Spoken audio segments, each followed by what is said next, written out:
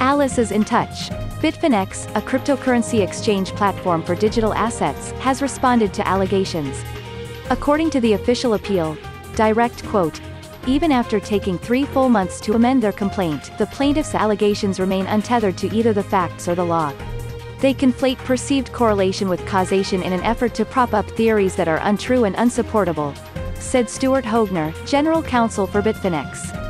Bitfinex also claims that Tether was created to establish stability, not volatility, in the cryptocurrency market. We will follow the development of events in Bitfinex and Tether further. Stay with us.